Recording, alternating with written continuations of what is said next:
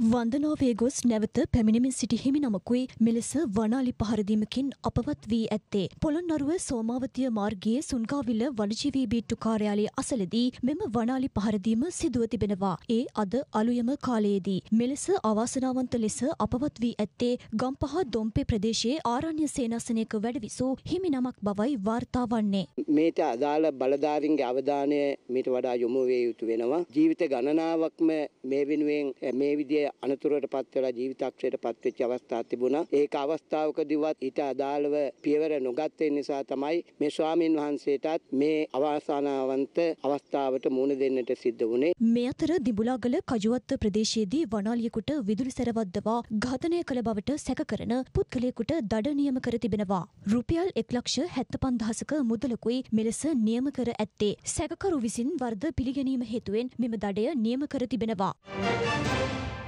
දෙනපතා අලුත් වීඩියෝ සහ ප්‍රවෘත්ති නැරඹීමට ඉහත බටන එක කලික් කර සියත TV සබස්ක්‍රයිබ් කරන්න.